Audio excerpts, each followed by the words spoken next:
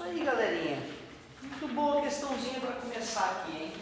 Página 85, questão 45, ele fala o seguinte: 1 mais i elevado a n é igual a 1 menos i elevado a n se verifica se e somente se ele quer que eu descubra quando é que é que essa igualdade vai existir.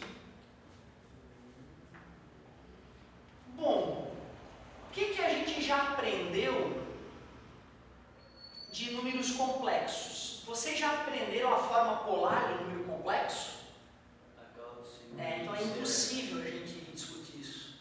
Por isso que tu não estava entendendo, entendeu? É, era impossível, sem a forma polar do número complexo, a gente compreender isso. Então a primeira coisa que eu vou fazer é te mostrar a forma polar do número complexo. Aí tudo vai começar a ficar mais claro. Primeiro, no início os matemáticos não entendiam, não compreendiam que isso poderia ter solução. Né? x ao quadrado igual a menos 4, porque o número multiplicado por ele mesmo sempre vai dar um resultado positivo. Certo? Até que um matemático chamado Bombelli teve uma sacada genial. Ele pensou, vou escrever o menos 4 como 4 vezes menos 1. Tem uma propriedade da radiciação que diz que raiz de A B é raiz de A vezes raiz de B, certo? Então eu posso escrever isso como raiz de 4 vezes raiz de menos 1. Tem uma única lei que diz que não existe raiz de número negativo, tá, mas eu vou chamar de a raiz de menos 1. Nasceram os números imaginários. No início todo mundo achou esse Pompéi um bosta. Não gosta, Pompéi, não serve para nada essa tua ideia. Hoje a rede elétrica funciona graças à invenção dos números imaginários. Certo? Então, uma ideia, uma ideia matemática aparentemente idiota revoluciona o mundo mesmo. Certo? Então, os números imaginários são fundamentais para a matemática do ensino superior. Qualquer curso que envolva matemática, o cara tem que ter uma noção de matemática superior, e números imaginários é, portanto, complexo para poder compreender.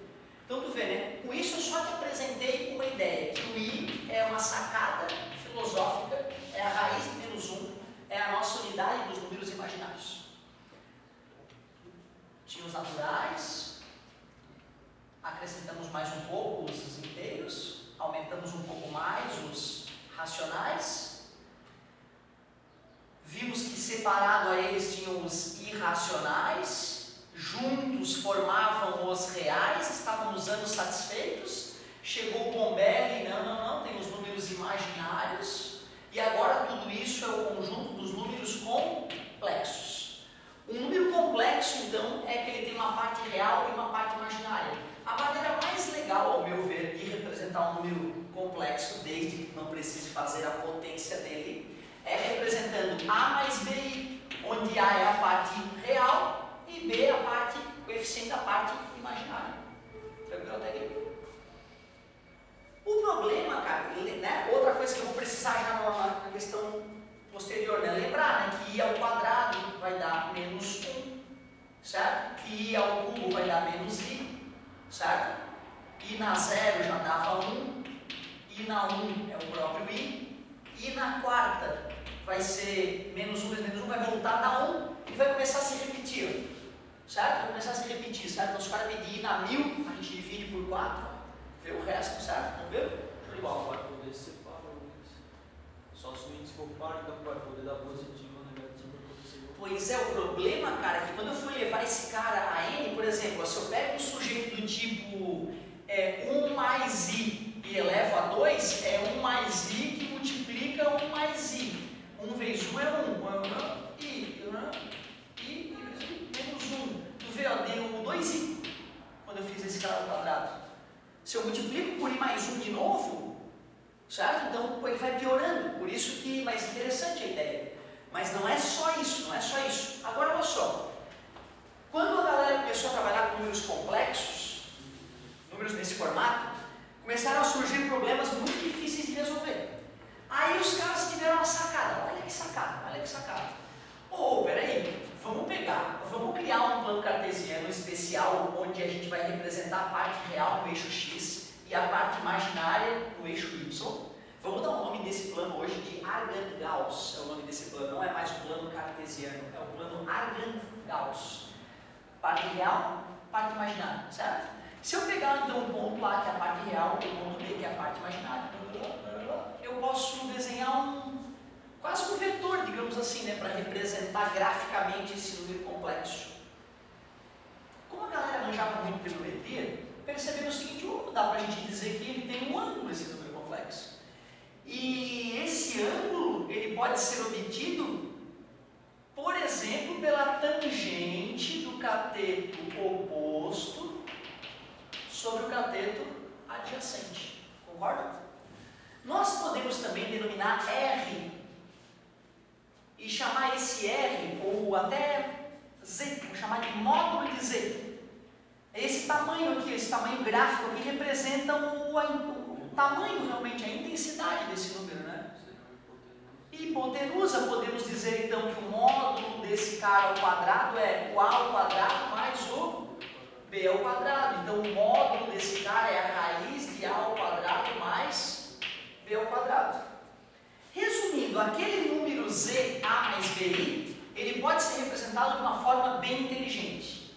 A gente usando seno e cosseno, por exemplo, o seno de θ é o cateto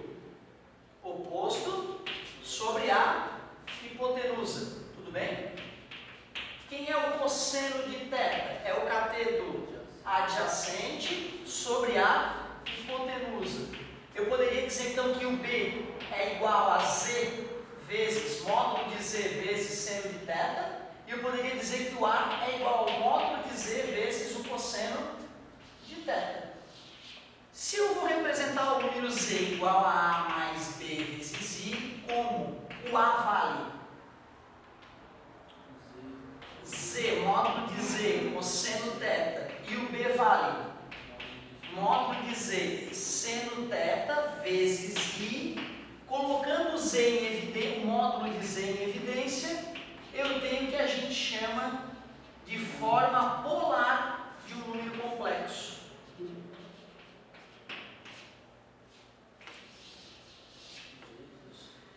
No começo o cara pode realmente, hã? Que isso? Que doença é essa? Mas relaxa. Depois que eu vou te contar, tu vai começar a gostar desse negócio. Como eu estava te dizendo, se tu vai fazer Z elevado a N nesse formato, pode preparar o chuveirinho. Tu vai ter que fazer chuveirinho mais chuveirinho e I vezes I dá menos 1, e aí menos 1 vezes I dá menos I. Terrível. Porém, se nós quisermos elevar um número complexo Z a N novo na forma polar,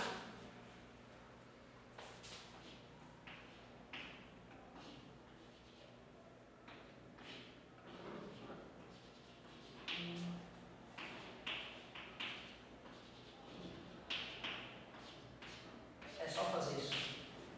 Na forma polar, a potenciação que seria o inferno na Terra ela fica idiota, só quer levar mil, eleva esse cara a mil, multiplica por mil o argumento do seno e por mil o argumento do. Sacou? Dessa propriedade eu poderia ter empurrado boca abaixo, entendeu? Eu poderia ter falado, né, né, vocês vão ver isso aqui, vamos usar essa fórmula mágica. Mas não é legal, né, galera? O legal é a gente entender de onde é que veio a brincadeira, para pelo menos o cérebro começar a aceitar como plausível, certo? Então, ó, faculdade a galera se peida toda com isso, né? Cálculo 4. Ninguém vai estudar isso e se arromba todo. Tá? Só para vocês não acharem que só vocês vão ter dificuldade nisso. Na faculdade dá problema, imagina no ensino médio, né? Resumindo, nós podemos escrever esse cara naquela forma lá, né? Tanto um quanto o outro, certo? Beleza? Aí de repente a gente consegue ver o que vai acontecer com esse N e descobrir quais são os valores de N que vão nos satisfazer. Vamos dar uma olhada então. Paguei só essa revisão do que era a, a unidade imaginária, né? Quem é o nosso A e quem é o nosso B para o primeiro cara ali? A é 1, B é 1. Como é que a gente calcula o módulo do número complexo? Raiz de 1 ao quadrado mais 1 ao quadrado o módulo dele vai dar raiz de, de 2. Dar raiz de 2. O que mais que eu preciso? Eu preciso achar o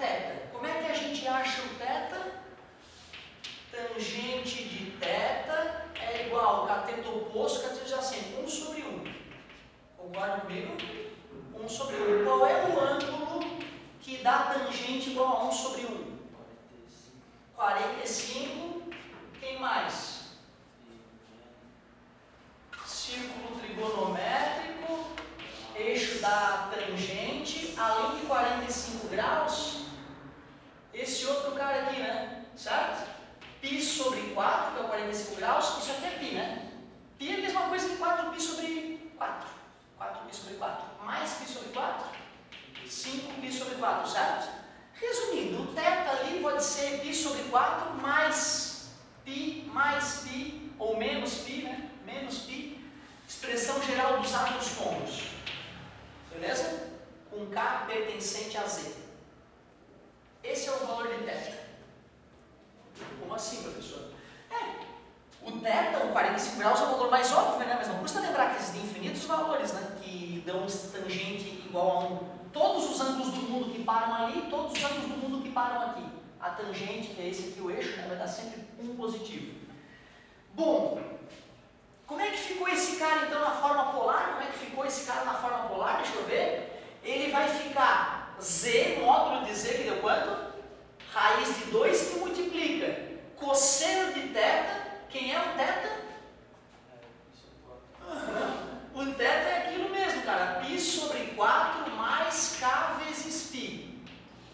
Mais seno de quem? De quem? Π sobre 4 mais K π. Isso multiplicado por I. É uma doença, né, cara? Quer dizer, é uma loucura. É natural, cara, que o cara fique absolutamente confuso nesse começo. Eu transformei esse cara nisso, né? Parece que é do mal, mas relaxa, isso tudo estava elevado a ele, né? Vamos fazer a mesma coisa para o outro, para a mágica acontecer?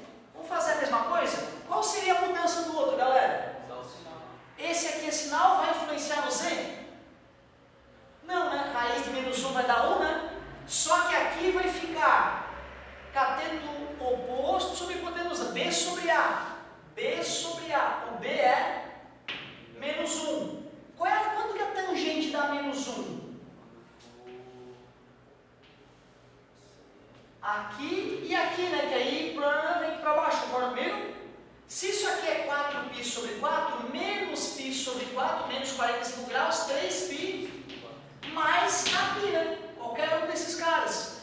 Ou seja, como a tangente aqui vai dar negativa, a tangente para o outro cara vai ser o ângulo, né, o argumento que a gente chama, vai ser 3π sobre 4 mais kπ.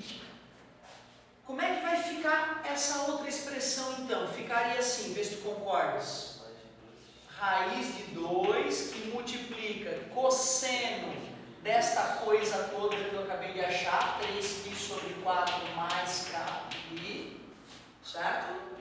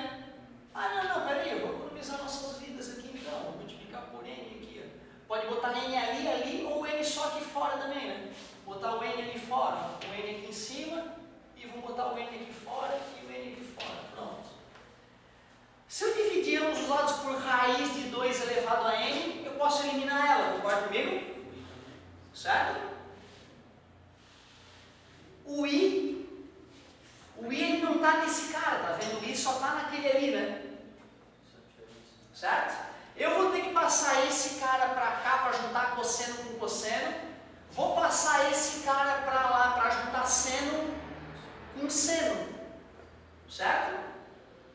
Então tu vê, ó. Galera, outra coisa que é importante, tu não tem que imaginar que tu vai fazer isso muitas vezes na tua vida, porque tu não vai. Certo? Isso aqui é uma coisa que a gente vai fazer uma vez na vida, uma na morte, que vai nos permitir tirar conclusões, acredito eu. Vê se tu concorda com o que eu vou escrever. Ó. Deixa eu ver se é isso mesmo que eu quero fazer.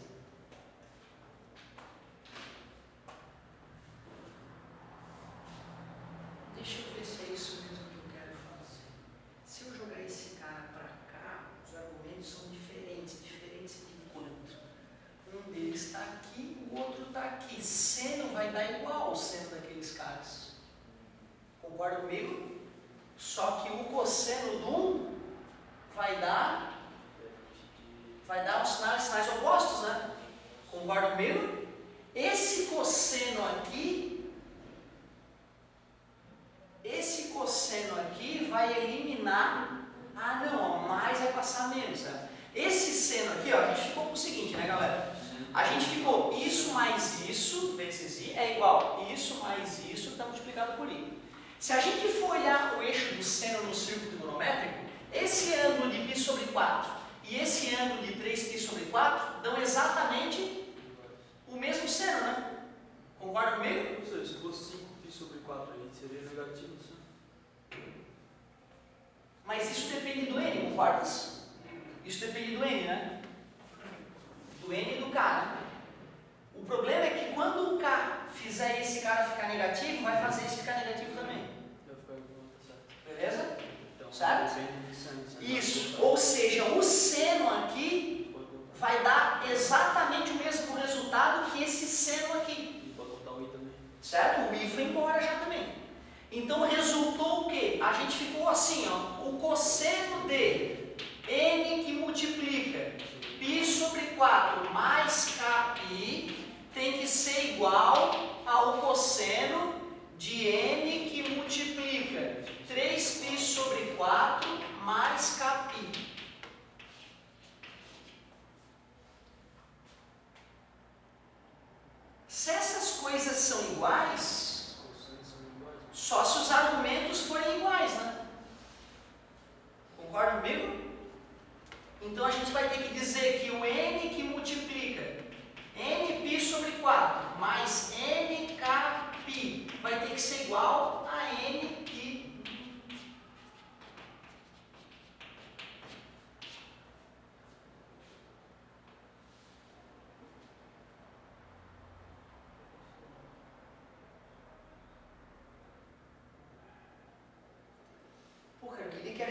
resposta ficasse tão bonitinha. Eu queria usar o K aqui para que nem na última aula a gente chegar à conclusão, né? Que só para K pertencente a Z que isso seria verdadeiro.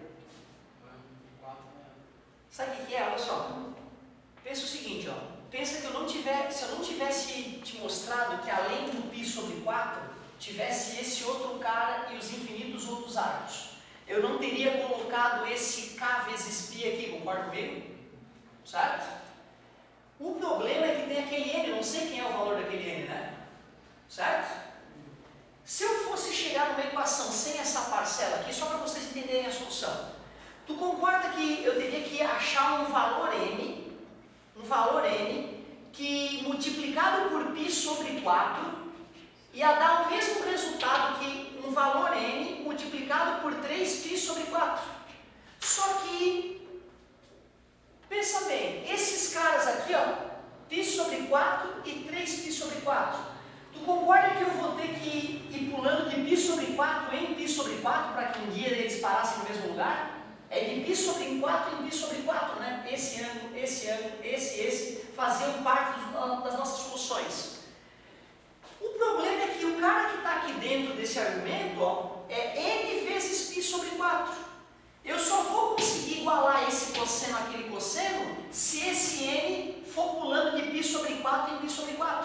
Ou seja, uma vez pi sobre 4, duas vezes pi sobre 4, três vezes pi sobre 4. Eu não poderia fazer meia vez, certo? Por isso que esse n, esse número n, tem que pertencer a z, assim como o k, né? Assim como o k. Pena que na hora que eu fui fazer a conta eu não cheguei na conclusão esperada. Tanto tempo perdido. Espero que eu tenha ajudado pelo menos a deglutir o que vocês vão começar a usar aqui, né? Era na verdade só essa propriedade, tá? Se eu não fosse tão chato, eu ia falar o seguinte, galerinha, olha isso aqui, olha isso aqui. Quer dizer que esse N vai ficar ali e vai ficar ali. Poxa, se os caras vão estar iguais, quando é que seno e cosseno vão poder se igualar? o n vai poder assumir qualquer valor, como é que é o argumento de semicosseno quando a gente escreve a expressão geral dos arcos côncavos? Tem ou não tem o k vezes π ali dentro? E o k tem que pertencer aos números inteiros, né? Era só isso na verdade, aí o k. Mas olha só o que ele colocou. Que bonitinho, cara. Pena que bateu na trave. Ele disse o seguinte, ó, n igual a 4 vezes k. Por que, que será que o n tem que ser igual a 4 vezes k? Quando eu botar 4K aqui, né, galerinha? 4 vezes K, 4 vai cortar com 4, concorda comigo? Quando eu colocar 4K aqui, né, 4 vai cortar com 4, concorda? e aí esse K vai acompanhar aquele K, né? O número inteiros de pi aqui e o número inteiros de pi aqui. O número inteiros de pi aqui e ali. Então ainda tinha mais essa, só para a gente sentir quais eram as respostas. N igual a zero, N ímpar, N ímpar, N par, ele falou N primo, N primo e N igual a 4K com K pertencente a Z. Eu acho que muito melhor do que fazer todo o cálculo era só o cara ter percebido que através da forma polar né, tinha que ter a ver com arcos, côncavos e tirar por ali, né, cara, a resposta. Ou testar, cara, o perigo de testar é que o zero vai achar que deu certo, entendeu? Só que ele falou sem somente ser, né? Então, será que não existe nenhum outro número que, deve, que, né, que deu valor e na verdade existem infinitos, né? Porra, cara, hoje os astros estão desalinhados, cara, só caiu um bomba na minha cabeça. Essa aí eu queria fazer de novo com mais calma, cara, para a gente achar n igual a 4k, entendeu? Na resposta. Mas olha, foi além do que eu esperava. Essa eu vou ficar te devendo uma resposta mais bonita ainda para ela. Pois aí, todos os ímpares não, dariam certo? Os ímpares. É ímpar, o 4. Mas não é suficiente. O ímpar dá certo. Mas se eu falo que ele é inteiro, é os ímpares e os pares. Tá entendendo? Os ímpares funcionariam. Parabéns, tu observou que os ímpares funcionariam. É verdade. É verdade. Tem uma já selecionada aqui pra gente. Era essa agora, mas essa aí eu tenho. não faço isso com aqui toda vez. Essa aí eu querer melhorar essa solução. Vocês, vocês merecem. Solução demoníaca.